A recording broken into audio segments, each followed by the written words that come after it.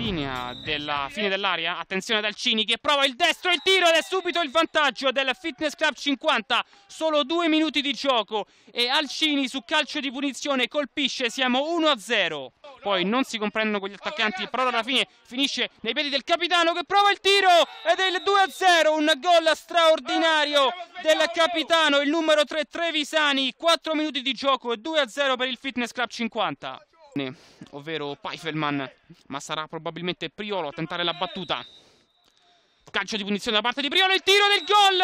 Anzi, il gol è stato segnato dal numero 15, Salveta, era stato lui a battere il calcio di punizione, 2-1, 6 minuti di gioco e partita spettacolare colui che ha segnato il calcio di punizione vincente per il 2-1. Salveta, palla in mezzo, colpo di tacco!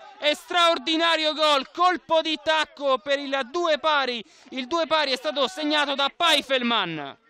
Vedremo quale sarà la decisione di Alcini. Dovrebbe tirare da questa posizione. Parte col destro Alcini il tiro e la grandissima risposta da parte del portiere dell'Atletico Fiumicino. Attenzione al numero 2 Palmieri. Cerca in mezzo Alcini che prova c'è un calcio di rigore, dice l'arbitro. C'è stato un calcio di rigore fischiato dall'arbitro.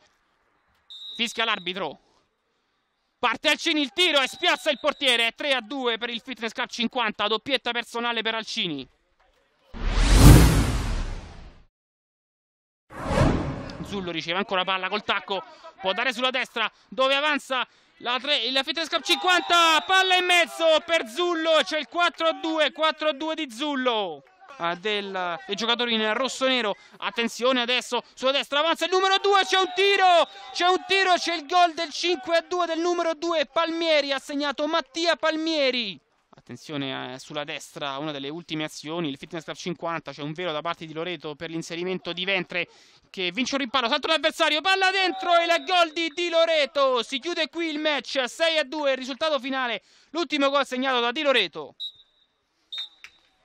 C'è una grande squadra e l'ho capito per l'ennesima volta questa sera di avere un gruppo di ragazzi fantastici. E cambiamo uomini in campo cambiano le partite, incontriamo avversari differenti ma il risultato è sempre quello, c'è una squadra che dà tutto dall'inizio alla fine, anche con un vantaggio notevole continuano a correre e a volere sovrastare sempre sull'avversario e questa è una cosa che mi rende particolarmente orgoglioso, non mollano un centimetro gli avversari e credo che sia proprio questo il segreto dei nostri successi. Loro sono una squadra ben attrezzata ma anche noi, anche se abbiamo avuto delle, delle mancanze, degli assenti importanti, ragazzi infortunati eccetera, però noi giochiamo uguale, se riusciamo ad andare a fare i playoff ben venga, però le partite li giochiamo, non rinunciamo mai.